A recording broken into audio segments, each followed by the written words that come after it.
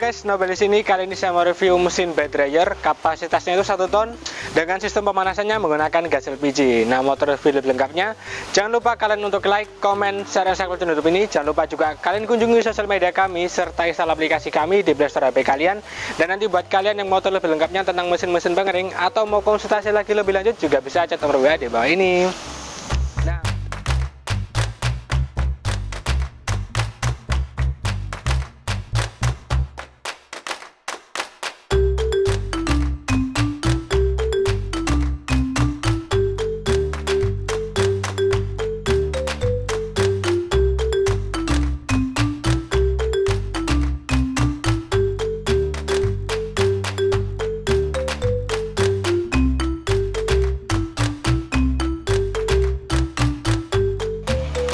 Untuk di samping saya kali ini ada mesin bed dryer kapasitasnya itu satu ton untuk pemanasannya menggunakan gas LPG.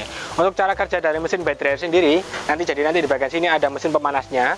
Dia akan menembakkan udara panas ke dalam boxnya dan nanti di bagian boxnya ini ini nanti sebagai tempat atau untuk meletakkan dari material kalian waktu dikeringkannya.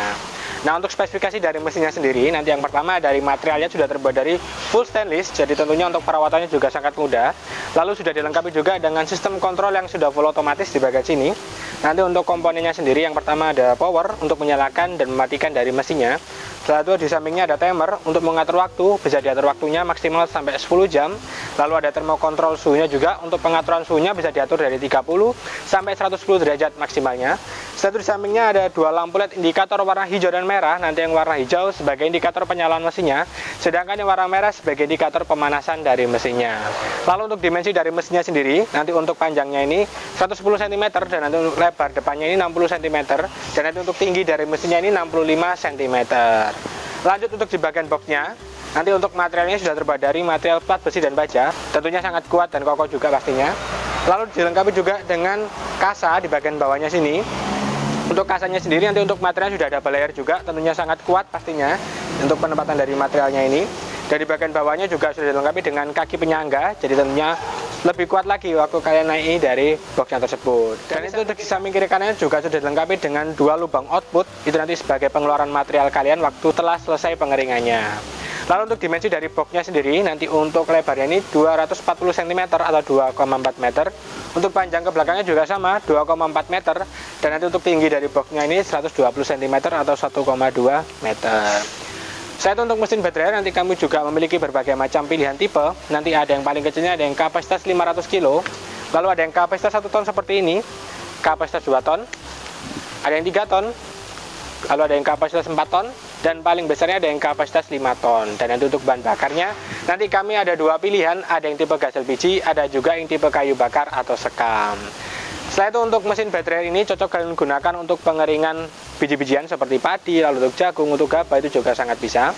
Lalu untuk mesin baterai ini memiliki berbagai macam kelebihan juga pastinya. Nanti yang pertama dari mesinnya, materialnya sudah full stainless, lalu dilengkapi juga dengan peredam panas. Jadi meskipun kalian pegang mesinnya dalam keadaan operasional tidak akan terasa panas.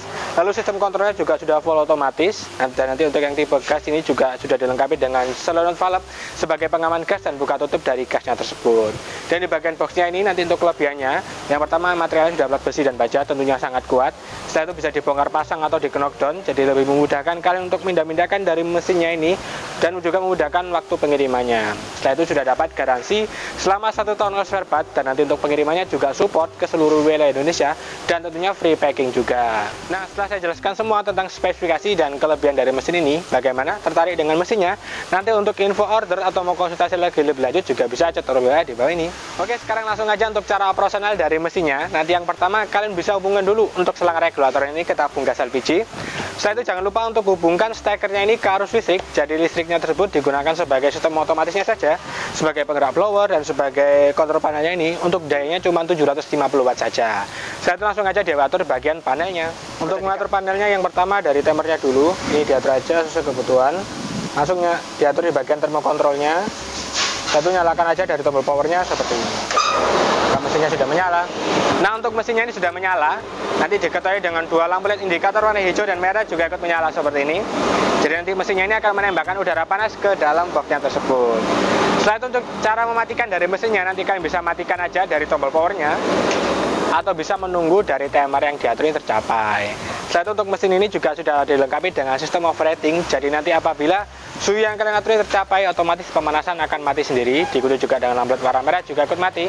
Lalu nanti apabila suhunya sudah di bawah yang kalian atur, otomatis pemanasan akan menyala kembali. Diikuti juga dengan lampu warna merah juga ikut menyala. Jadi nanti untuk sistem pemanasannya, dia akan mati nyala mati nyala selama timer yang kalian atur tercapai. Lalu untuk pengadukan dari materialnya nanti kalian bisa lakukan pengadukan secara manual itu bisa dilakukan di atas boxnya. Jadi nanti kalian bisa naik ke atas boxnya atau bisa diri samping-samping boxnya tersebut. Selain untuk mesin pengering nanti kamu juga memiliki berbagai macam pilihan. Nanti ada mesin pengering pertanian, kami ada model bed dryer seperti ini. Lalu ada model rotary dryer, ada juga vertical dryer. Setelah itu ada mesin pengering serbaguna. Kami ada model pemanas ruangan seperti ini contohnya. Jadi nanti selain bisa diaplikasikan dengan box, untuk mesin pemanas ruangan ini bisa akan aplikasikan juga dengan ruangan. Jadi nanti sebagai pengoveran dalam ruangan tersebut. Setelah itu ada juga untuk mesin pengering makanan, kami ada model oven cabinet, ada spinner minyak, ada bandar kebab. Setelah itu ada juga untuk mesin pengering laundry, kami ada model tumble dryer, ada lemari pengering, ada pengering karpet, ada pengangkat sauna, pengering helm, dan ada juga pengering sepatu. Oke, terima kasih sudah melihat video saya sampai habis. Jangan lupa kalian untuk like, komen, share, dan subscribe YouTube ini. Jangan lupa juga kalian kunjungi sosial media kami, serta install aplikasi kami di Play Store HP kalian. Dan nanti buat kalian yang mau tahu lebih lengkapnya tentang mesin-mesin pengering, atau mau konsultasi lagi lebih lanjut, juga bisa catat berbeda di bawah ini. Oke, terima kasih. Sampai jumpa di video berikutnya. Dadah.